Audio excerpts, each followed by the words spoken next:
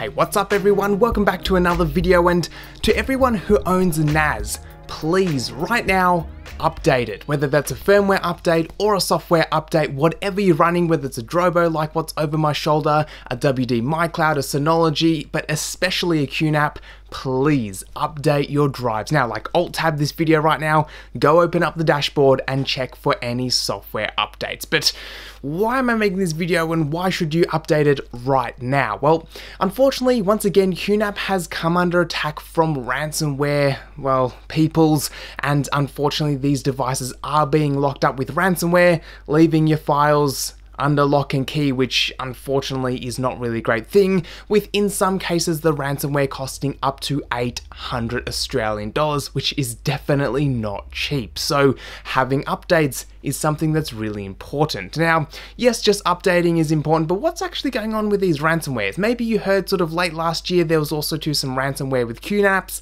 but what's actually going on here? Well, Taking a closer look, this is specifically for QNAP devices where older and uh, just out of date software allows the network connections to be attacked. Now, at the moment, there are supposedly 564,000 QNAPs exposed, with 450,000 of them being vulnerable as of the time of recording, um, and these numbers are courtesy of Port Swingers. Swiggers. Uh, but even QNAP's official history doesn't look amazing. I mean, looking at their uh, little notification sheets, it's um not looking so crash hot. So uh, at the moment, they are under attack, and I just wanted to sort of pop in and make a quick little video letting really any NAS owner know to keep their devices up to date. As NAS devices, just like the one behind me, are really easy just to plop onto the network, configure once, and basically forget about. Now, these particular attacks come in a few different forms, obviously because of the outdated software. Uh, the main one is just brute force attacks. There's no real kind of like 2FA or lockouts by default on some of these devices, meaning attacker can just get the IP address and or even just public address and hit it as many times as they want, and eventually they're going to brute force their way into the device. And especially if the device is just admin admin as the username and password, really shouldn't be, um, it's going to be even easier for them to get into these particular devices. So that's the first way. Um, there are other sort of ways they can get in. They can inject malicious code uh, in the cross-site scripting vulnerability. There's also to an exploit where they can actually run commands uh, remotely from things like SSH and telnetting into the actual devices. So there's quite a few backdoors that they're actually exploiting on the older versions of software which aren't quite as secure. Now these type of attacks can then apply apply to many other devices, like again the Synologies of the world, the Drobos, and those kind of things. However, Synology and Drobo have a little bit of different kind of defaults, and of course, they're not really the main ones that are being attacked in this particular story. So uh, it's a bit of a more of a problem for the QNAP owners out there. But again, really anyone really needs to take some steps to make sure that their NAS is secured, especially because your NAS device probably holds some pretty important data. It's not like they're just locking out your computer where you might have a backup somewhere. For a lot of people out there, their NAS is generally the only copy of data, which is really not the best thing. And a lot of companies like Synology and Drobo and all those kind of things allow sort of like third party softwares to be put in. And especially on the Synology side with their cloud backup software, you can connect your Synology NAS to a third party provider like say Backblaze and have ultra cheap offsite storage for containing your backups, which sort of brings us into the what should you do about the uh, kind of whole situation. Now, obviously going ahead and just updating the firmware and the software on these devices is the first thing, but having actual backups of your devices are also too pretty important. Again, we like to back up our computers and maybe some people who have servers back up their servers, but a lot of people kind of just set up their NAS and forget about it. Now there's also two other things, like for instance you can install the security counselor on the uh, QNAP side, I think Synology has a similar kind of security thing, but basically just does an audit of your system um, is the idea of it and gives you sort of little prompts that you probably should update, things like that. Um, don't use admin, admin as the username and password or really kind of admin as a password or username in general.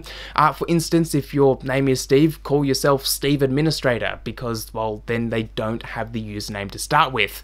Um, again, depending on your naming structure, maybe that's not such a good one for you, but just calling it admin already opens you up to a little bit of problems right there. Disabling SSH and Telnet is also to another good option. If you don't know what SSH or Telnet is, then disable it because you're not using it and it is a bit of a vulnerability right there.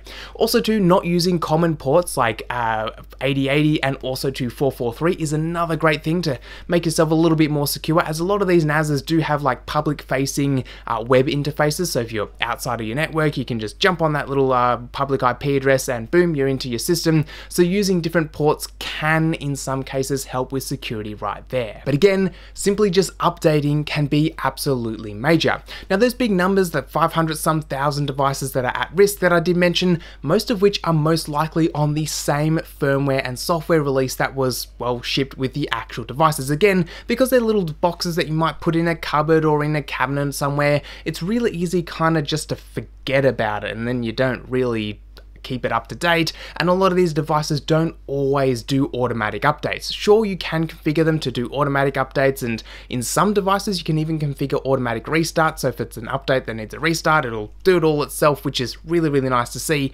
But a lot of time out of the box when you just turn it on, plug it into a network and go, which is what a lot of people like to do with NASs, they don't exactly have the best security policies applied by default. And the amount of times I've seen admin admin Ooh, really not so great. Now for the QNAP owners out there, I'll leave links down in that description box to the QNAP kind of like official notification and also to how to go ahead and update your devices.